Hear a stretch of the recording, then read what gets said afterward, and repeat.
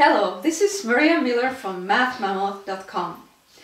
In this video, I want to show you how to fill in your MathMammoth PDF on the computer using Adobe Reader. But before you get started, just one thing for you to remember. Make an extra copy of the PDF file so that you give your child a different PDF file and you keep a blank copy somewhere. Okay? Let's get started. First we need to open this PDF file in Adobe Reader.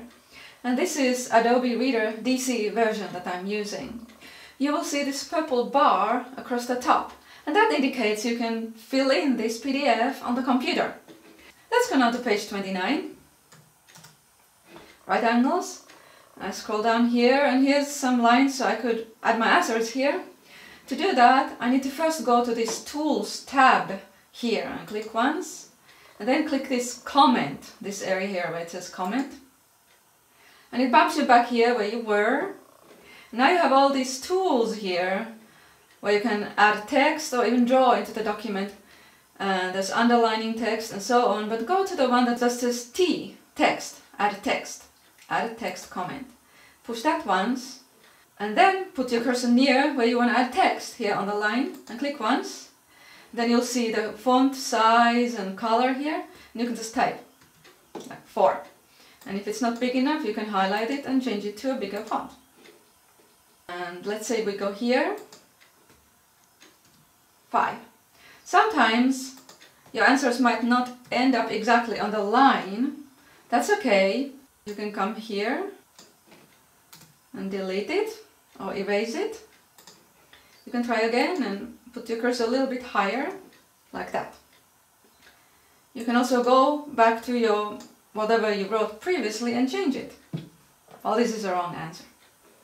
Now let's go on to the next page and look at some other tools.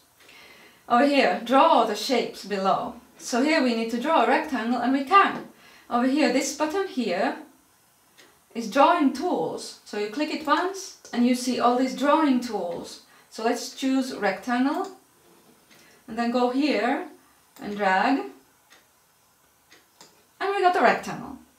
You can then click it, then right click it, go to properties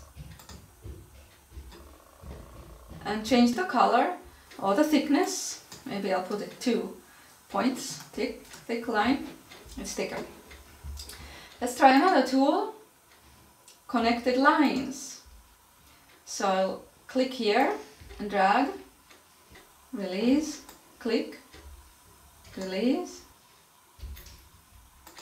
double click. So I got my triangle. I hope this was helpful and I hope you enjoy using MathMammoth.